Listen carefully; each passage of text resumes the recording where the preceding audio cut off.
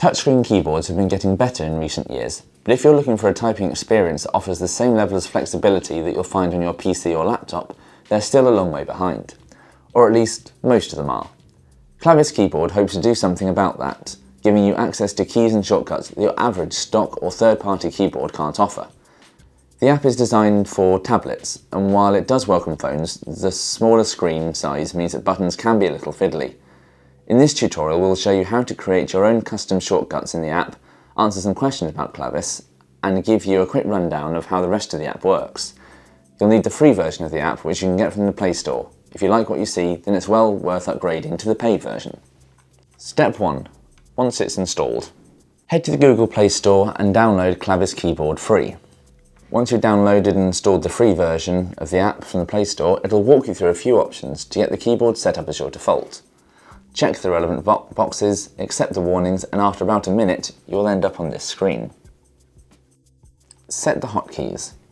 Tap on the button marked Settings and then Macro Settings, and you'll be taken to this menu. All of the hotkey options should be blank, it's up to you to fill them with relevant, useful shortcuts. We'll give you a few suggestions as we work through the tutorial. The first key. Tap on the first empty macro and you'll get a pop-up text box. This is probably the first time you'll have used Clavis Keyboard, so take a moment to get used to the layout and familiarise yourself with the differences between this and the mobile keyboard you're used to. Start off. We'll start off with a simple macro that lets you type in the address of your favourite site with a simple combination of taps. Write the URL in the box, and when you're done, tap the OK button. Congratulations, you've made your first Clavis hotkey. Now head to your browser. To check the hotkey is working, you'll need to use it in a text box. However, you can't just push Ctrl once, you'll need to hold it down as you would on a PC keyboard.